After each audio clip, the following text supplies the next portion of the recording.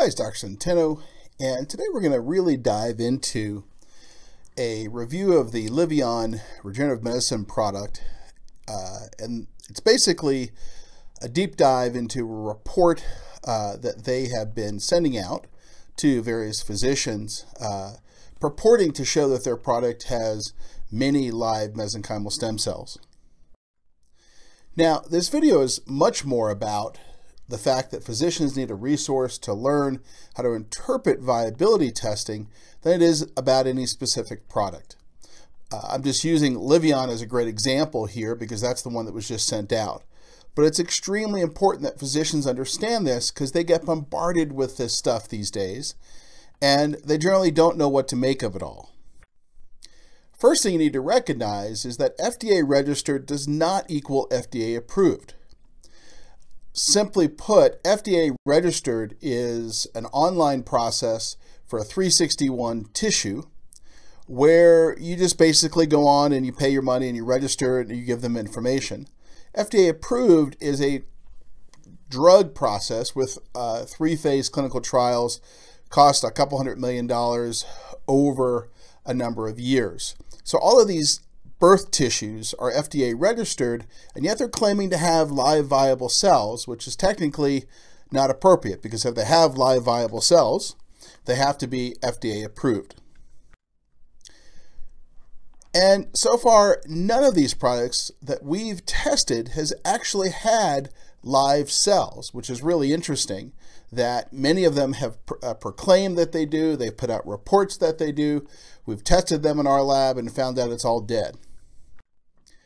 And before I jump in, I should say that uh, I really have an interest in this, and my interest is trying to find an amniotic or cord tissue company that really has a lot of viable mesenchymal stem cells. I will be their largest customer by far. There won't even be a close second. So I care deeply about whether these white papers are really fact or fiction. And every single company we've tested and we've seen white papers on really fails along three basic lines. Awful survival rates out of cryopreservation, uh, only simple live dead testing with no actual testing of true clinical viability, and that's an important distinction, and poor flow cytometry that's really incapable of identifying stem cells.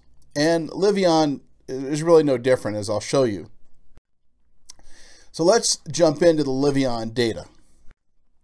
The first thing we see uh, is simple live dead testing. And what's interesting about that is that we see 59 and 63% viability, which is pretty awful. And I'll talk about that in a minute. But much more importantly, doesn't tell you whether or not uh, the cell is alive and healthy, uh, sitting in the ICU, meaning the cell is about to die because it's been so badly beat up, or dead. Uh, in fact, all it shows you is that the live cells are either one of these two, and the dead cells are over here. Now, normal recovery rates out of cryopreservation are approximately 90% plus. So recovery rates of 50 to 60% for hardy fetal uh, cells like this generally means that the cells have been through uh, a cell version of Dante's Inferno. These cells have been beat up in a big way. So you right off the bat would have serious concerns that any of them will really live to be viable and do anything. And yet Liveyon makes no attempt to test beyond just the simple live dead. They don't test for apoptotic markers. They don't try to culture these cells out to see what will grow. None of that is done. Next comes the flow cytometry. And as I've always said, if you really want to uh, sail something over a doctor's head, throw flow data at them because it's not something that we get taught about in school or residency. So this is what Liveyon says.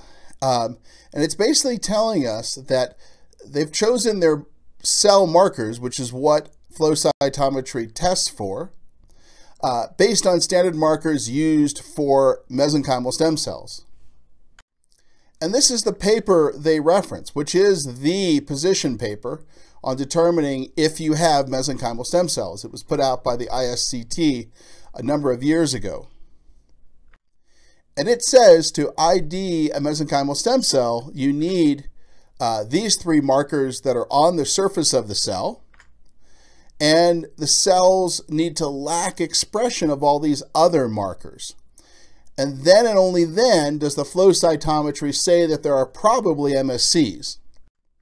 But then you also need to grow the cells out in plastic adherent culture, which was not done here at all. And you also need to make sure that the cells can differentiate into osteoblast, adipocytes, and chondroblast in vitro, which again was not done at all here. So all that was done was the flow cytometry testing. So how did the Liveyon white paper do? Um, pretty poorly. We see a lot of problems here. Well, they tested for CD90. For some reason, and God knows why, they left out CD105 and CD73. While they ultimately proved that their cells lacked expression of CD45 and CD34, they completely skipped over CD14 or CD11, and they did do this test here. So it's kind of a hodgepodge. So the stem cells weren't tested using the IS, ISCT standards, and yet that's the paper that's referenced. And I put stem cells in quotes for a very good reason. Uh, there, in quotes, MSCs had CD90, but so do neuronal cells, uh, uh, a subset of fetal liver, liver cells, uh, thymocytes, fibroblasts, activated endothelial cells.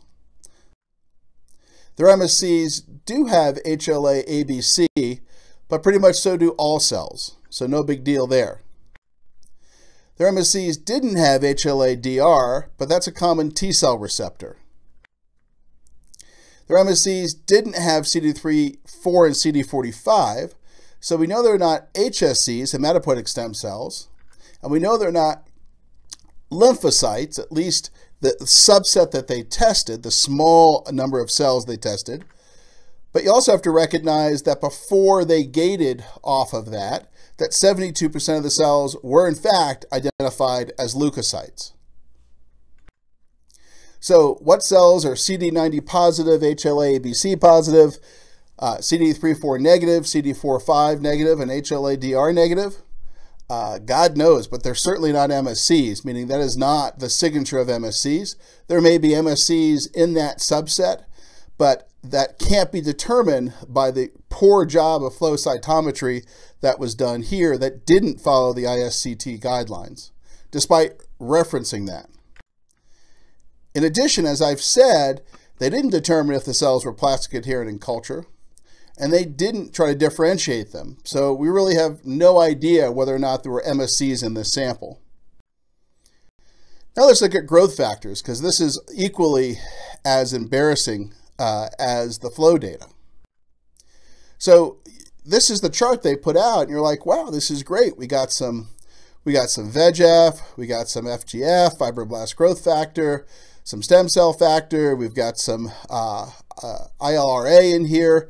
You know, that might be really good. But now let's take and really compare this to common things we know. So this is now a comparison. There's the references down there. Uh, so this is just 1x PRP that we tested has more VEGF than their sample. Obviously, if you inject 5x PRP, you've got five times that much. So the, the amount of VEGF they have is ridiculously low compared to a much cheaper $200 PRP shot.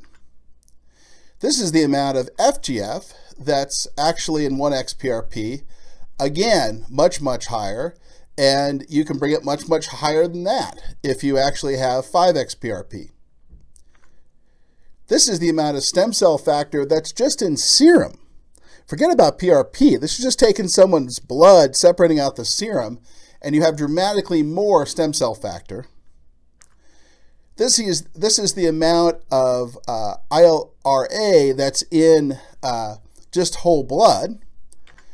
And this is the amount that's in bone marrow concentrate. Now, obviously, that's 13,000, and I would need to put it way, way, way off the slide here if we're going to accurately represent. So again, we're not seeing anything here about this chemical signature that would make me impressed that this is uh, a stem cell or regenerative medicine type product that's that's really worth the damn based on uh, the in vitro assays of the uh, cytokines that are and growth factors that are present.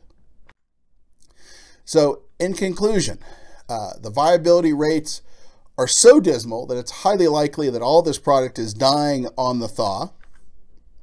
The white paper makes no attempt to determine if these cells are functionally viable, i.e., if they have apoptotic markers or culturing them.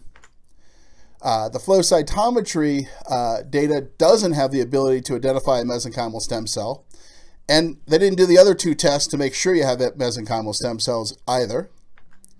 And the growth factor levels are far less than PRP serum or bone marrow concentrate, so it's not impressive along that axis either.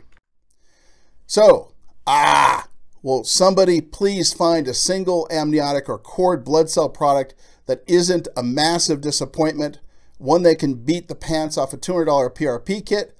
If you can, I'm all in. Up until then, stop sending out crappy data and, uh, and trying to impress physicians with it. Uh, and if you continue to do that, I'll continue to tear it apart. Because again, physicians need to know how to understand this stuff. And if there is a product that comes out that is amazing, I'll be the first one to tell you. Thanks so much and have a great day.